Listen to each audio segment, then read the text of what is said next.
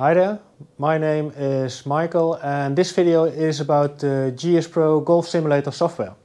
Now GSPro has stunning graphics and realistic ball physics, but more importantly there is a very active online community uh, playing lots of tournaments, uh, but also designing stunning golf courses uh, by themselves. And these golf course designs is exactly what this video is about. Now on the Lahontan Golf Club uh, website I found real life uh, flyovers and I have set these flyovers next to the GSPro version. Um, now Lahontan Golf Club is in Nevada, USA. Um, this design of Lahontan Golf Club is made by a guy called TechBot.